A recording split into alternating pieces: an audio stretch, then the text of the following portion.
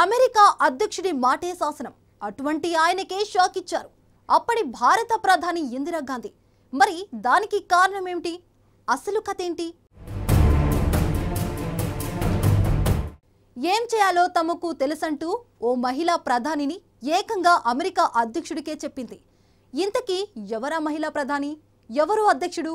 అసలు ఈ సంఘటన వెనుక ఏం జరిగింది? లెట్స్ వాచ్ ఆయుధాలు డబ్బు టెక్నాలజీ ఇలా ప్రతి దానిలో సూపర్ పవర్ కావడంతో అమెరికా అధ్యక్షుడి మాటకు ప్రపంచంలో ఎదురు లేదు. కానీ అలాంటి వ్యక్తిని ఓ భారత మహిళా ప్రధాని ఎదిరించి నిలిచింది. అతడి బెదిరింపులను ఏమాత్రం లెక్క చేయకుండా ఏం చేయాలో మాకు తెలుసంటూ ధైర్యంగా సమాధానమిచ్చింది. అది కూడా శ్వేత సౌధంలో ఆ మహిళ ఇందిరాగాంధీ అది పంతొమ్మిది వందల సంవత్సరం. నాడు ప్రపంచంలో రెండే సూపర్ పవర్ దేశాలుగా వెలుగొందుతున్నాయి. ఒకటి అమెరికా రెండు సోవియట్ యూనియన్. అమెరికా అధ్యక్షుడు మాట అంటే అప్పట్లో దైవ శాసనం కిందే లెక్క. అలాంటి వ్యక్తిని కూడా ఎదిరించి నాటి భారత ప్రధానిని ఇందిరాగాంధీ అపరకాలిక అని నాటి ప్రతిపక్ష నేత అటల్ బిహారీ వాజ్పేయి ప్రశంసలు పొందారు. పాకిస్తాన్ తెర నుంచి తూర్పు పాకిస్తాన్కి విముక్తి ప్రస్తావించి దాన్ని బంగ్లాదేశ్గా ఏర్పాటు చేశారు.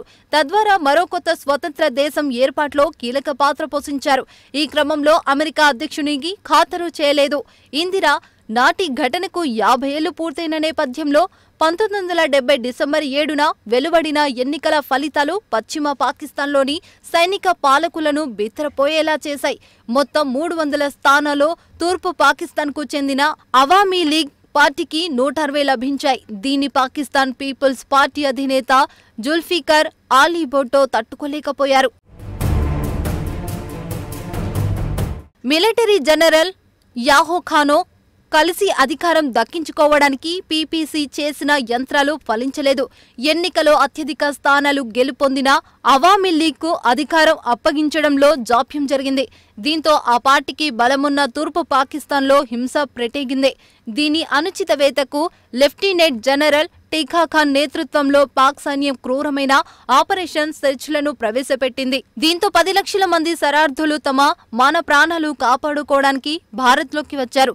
దీంతో పాక్ చేపట్టిన మరణ హోమానని ఆపాలని కోరుతూ నాటి ప్రధాని ఇందిరాగాంధీ ప్రపంచ దేశాని నేతలను కలిశారు. ఈ క్రమంలో భాగంగా భారత ప్రధానమంత్రి ఇందిరాగాంధీ పంతొమ్మిది వందల డెబ్బై ఒకటి నవంబర్ మూడు నుంచి ఆరు తేదీల్లో అమెరికాలో పర్యటించారు. నాటి అమెరికా అధ్యక్షుడు రిచర్డ్ నిక్సంతో భేటీ అయ్యారు.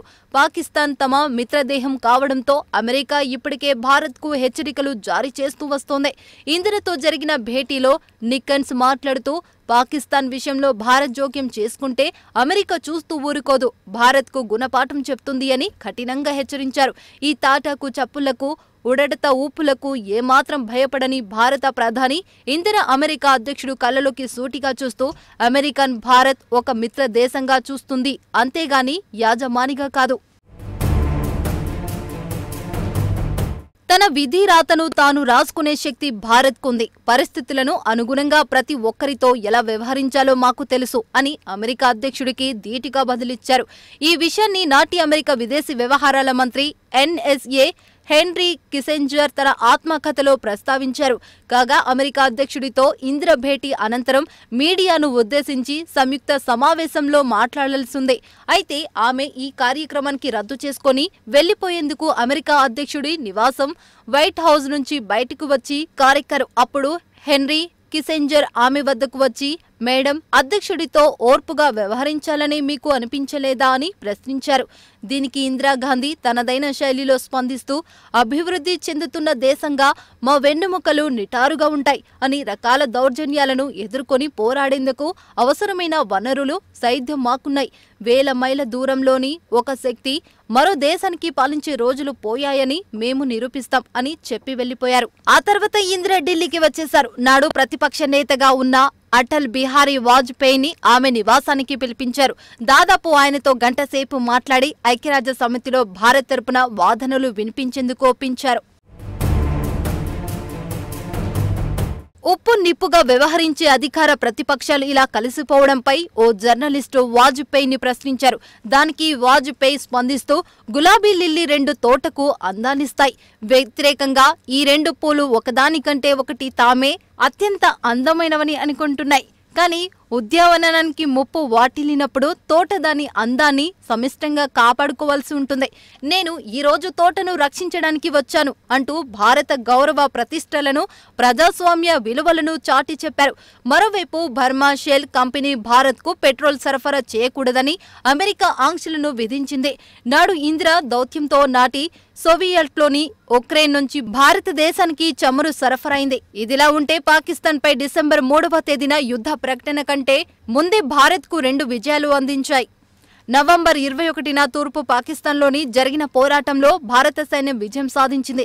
డిసెంబర్ మూడవ తేదీన యాభై ఒక యుద్ధ విమానాలతో పాకిస్తాన్ భారత్పై దాడికి దిగింది. దీనికి ఆపరేషన్ చేంపింగ్ ఖాన్ అని పేరు పెట్టడం గమనరం పాక్ విమానాలు ఆగ్రా వరకు రాగా వీటిని భారత్ యుద్ధ విమానాలు నేలకూల్చాయి. మరోవైపు పాక్ సైన్యం కాశ్మీర్ వద్ద దాడులు మొదలుపెట్టింది. భారత సైన్యం కూడా ధీటుగా ప్రతిస్పందించింది.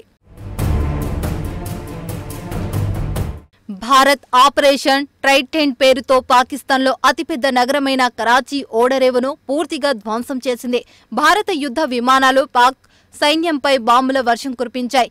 భారత్ తూర్పు పాకిస్తాన్లో తెలివిగా తంగెల్ ఎయిర్ డ్రాప్ చేపట్టి పాక్ సైన్యాన్ని లొంగదీసుకుంది పాక్ వైపు నుంచి తొంభై మూడు వేల మంది సైనికులు లొంగిపోయారు. ఈ యుద్ధంలో భారత్ వైపు మూడు వేల మంది సైనికులు మరణించారు. ఈ యుద్ధం ద్వారా తూర్పు పాకిస్తాన్ బంగ్లాదేశ్ పేరుతో ఆవిర్భవించింది. పాక్పై యుద్ధ బేరీ మోగించి ఇందిరా నాటి ప్రతిపక్ష నేత అటల్ బిహారీ వాజ్ పేరుతో అపరకాలికాని కీర్తించబడ్డారు. భారత్ పాకిస్తాన్ యుద్ధంలో ఇందిర నేతృత్వంలోని భారతదేశం అఖండ విజయం సాధించింది. బంగ్లాదేశ్ ఆవిర్భవించింది. ఉపఖండంలో తిరుగులేని శక్తిగా భారతదేశానికి పేరు తెచ్చింది. ఇందిరాగాంధీని ద్వేషించే అప్పటి అమెరికా అధ్యక్షుడు నిక్కన్ తన సంపూర్ణ మద్దతును పాకిస్తాన్కు ఇచ్చిన నేపథ్యంలో యుద్ధానంతరం ఆయనకొక ఘాటైన ఉత్తరం రాసిందేమో. లక్షలాది మంది తూర్పు పాకిస్తాన్ శరణార్థులు సరిహద్దులు దాటి భారతదేశానికి వచ్చి పడుతుంటే వారిని ఆదుకోవాల్సిన బాధ్యత తమకుందని ఆ కర్తవ్య నిర్వహణలో యుద్ధం చేయాల్సి వస్తే తాను చేసిన తప్పేమిటో స్పష్టం చేయాలని నిక్సంను ప్రశ్నించింది.